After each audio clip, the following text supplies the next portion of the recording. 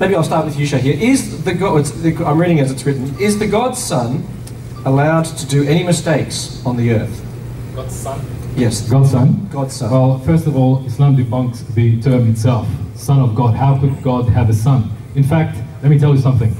Jesus, Well, sorry, just on that, because you believe that there's still a Son of God, don't you, Steve? But you don't believe in a uh, Trinity or anything, a deity. Yeah, I, I believe that Jesus is the Son of God, exactly as the Gospel records define it. Yes, because the Son of God is, is a is more than just a the, the God's Son, I suppose, isn't it? It's a, it's a kind of a term that's given to someone who's anointed by God, as you said before. That's right. I think there's a very, very uh, fuller explanation, I guess, with that we can sort of discuss further. Um, I think it's not very simplistic. So yes, I just want to clarify, Shahir, that's just in terms of I think God's Son is not necessarily the begotten Son of the deity. Yeah. actually, actually, the, the Quranic position does not only debunk the idea of God begotten Son, the term itself, Son of God. Look at this, how confusing it is. Jews have been using it since their times. Son of God, Elohim. Today, Jesus is supposedly the Son of God. Notice, notice there's no special term to describe him other than the Messiah, which Muslims already believe. The only thing that Christians will tell me, no, he's the Son of God. Is that how you're going to define Jesus? The Son of God? So now to the question, would God allow his son to commit mistakes? Now, this is quite irrelevant because in the Islamic position is that God doesn't have a son, whether physically, whether spiritual. In fact, I'd love, I'd love to hear both of you's position on this very topic. Later on you'll hear, I hope. Okay, well maybe we'll start with you, or um, maybe go to Bernie. Um, so you want me to address the issue of could, could uh, uh, God's Son make mistakes? Um, sorry, I'm a teacher, we do handouts. I've got another handout for you. Um, this one is called, If Jesus is God, then why did he get hungry, thirsty, eat, drink, get tired, sleep, weak, not know, and not know everything and then die? And it talks about the whole uh, question of Jesus being pre-existent, which I believe the Bible consistently teaches, and then at a certain point in time, he came down to earth and he, it says in, in Hebrews chapter 2, um, who, although he was in the form of God, did not count equality with God a thing to be grasped, but emptied himself. And Jesus, in heaven, he was omnipresent, omnipotent, uh, omniscient. He comes down to earth and he hands those things over for our sake. Um, and, and because of that, I don't believe he ever made any mistakes, but he certainly was limited. He couldn't be in, in um, uh, Jericho when he was in Jerusalem. He admitted that he didn't know everything. He says um, uh, the, these things only the Father knows, not the Son. He also was limited in terms of his power. He got tired, he had to sleep, he got hungry, he had to eat, and he did that for our sakes. Uh, that was for the 33 years that he was on earth. He lived in that state, and then he returned to his position of original glory. So that would be how I would understand it. But I don't. I believe he lived a perfect life, um, and because of that, he can be a model for us because he lived under the same conditions that we do. Okay, obviously you agree with, but disagree with some of what Bernie said there, would you, Steve? Yeah, there's some agreement there and some disagreement. Um, could have, could Jesus have sinned? Um, the answer would be he could have, but he did not. Um, what we notice, A, is Jesus was tempted. Now, to be tempted means to be able to uh, cause someone to error or cause someone to sin. Now, if Jesus could not have sinned or made a mistake, then what would be the purpose of the temptation? But as we see in Hebrews, the Bible says that, that the Son, in obedience, was perfected. So what we see is, is that Jesus, throughout his life, up until the cross, lived an obedient life under his Father.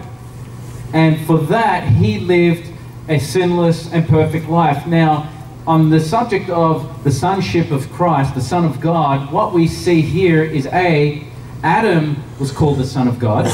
We see, we find that in the genealogy accounts in Luke, that Adam is called the Son of God. Later, as you proceed through the Old Testament, what you find is, is that um, the kings, the kings of Israel, especially David, if you read 2 Samuel 7, God entered into a covenant with his Davidic king and said, I will be a father to him, he will be my son. And so the term son of God also has royal connotations. Adam was actually mankind's first king on earth. God told him, You shall rule over the world. You shall conquer and have dominion. He was essentially the first king. But because of his disobedience to God, one commandment, he forfeited his right. And so God set in motion the plan of restoration of when Jesus arrived on the scene of human history. And Paul terms him the last Adam. Notice that, the last Adam. So Jesus, if the first Adam could be termed Son of God, certainly the last Adam can be termed Son of God. And the, the, the gospel writers and the epistles consistently affirm that Jesus is the Son of God. And Son of God does not mean deity incarnate in flesh. It means a, a, a human being whom God brought into existence supernaturally through the womb of Mary. If you read the birth narratives, the angel Gabriel says to Mary, when she says, Well, how can this be since I don't know a man, speaking of the virgin birth, she, uh, the angel Gabriel says, Well, the Holy Spirit shall overshadow you, the power of the Most High will come upon you, and for this very reason, that thing begotten in you shall be called the Son of God. So, you know, we need to be consistent with the language of the text.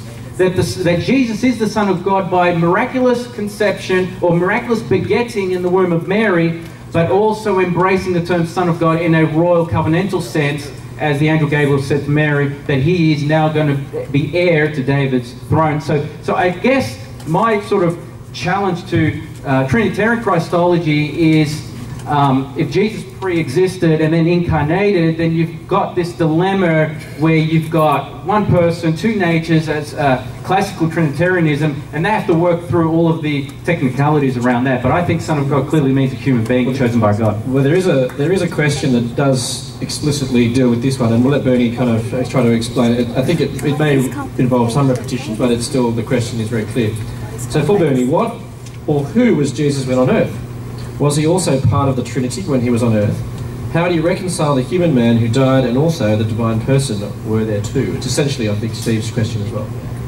Yeah, I, I think this is a, a very important question. We would believe as Christians that, that Jesus was both fully God and fully human. So when he was on earth, he had the two natures. Uh, side by side. So, uh, because of his divine nature, he was he was perfect. He was sinless. Um, because of his human nature, he could identify completely with us, and that was significant for when he went to the cross. Because when he died on the cross, he died as a, a full and perfect sacrifice for humanity.